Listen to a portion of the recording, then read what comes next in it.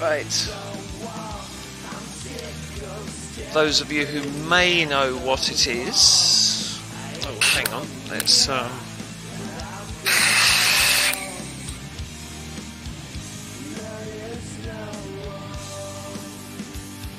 don't know if you can actually read it.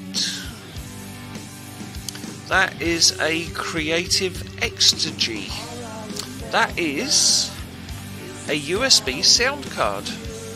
At the time when it was bought, it was bloody expensive. That's circa 1997.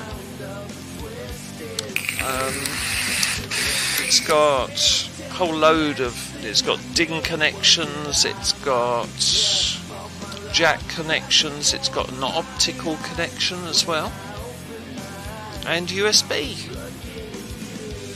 There you go.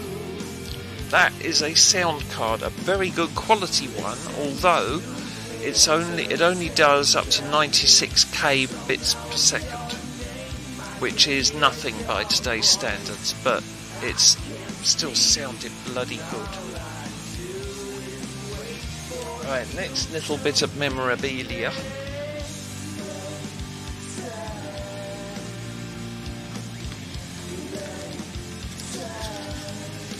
Anybody got any clues what that is?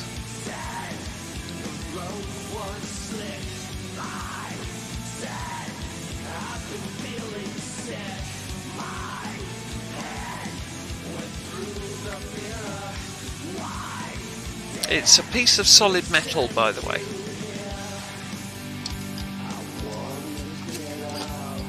And just to give you a clue, you use it with that. A scalpel.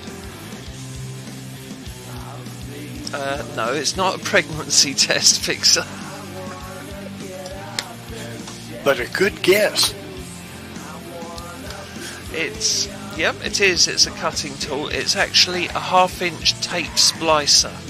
You remember seeing the old-fashioned tape drives connected to computers, where you'd see the tape going up and down and up and down and things like that.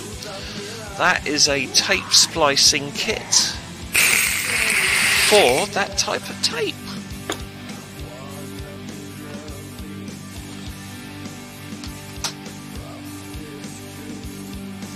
Right, how about that?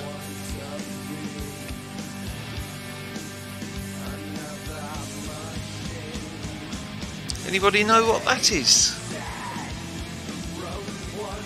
This bit here is is just a cable with the plug.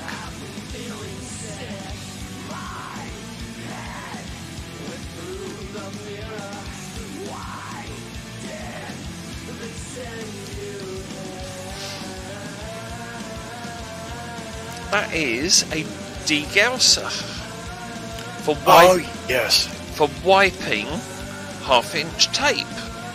It's uh-huh. basically a very large electromagnet, and you push the button on it. Button just there. You push the button.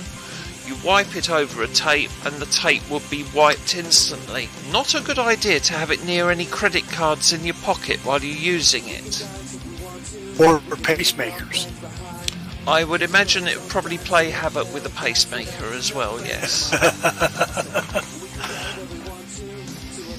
okay, and the last thing, you will know what this is.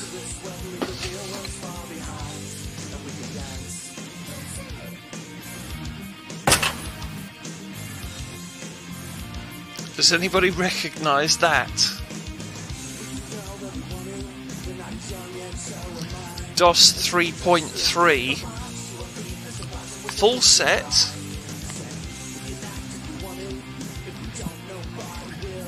including users guides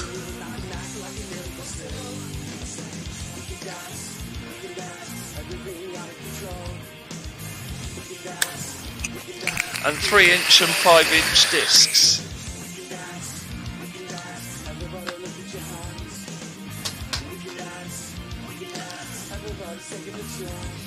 So there you go.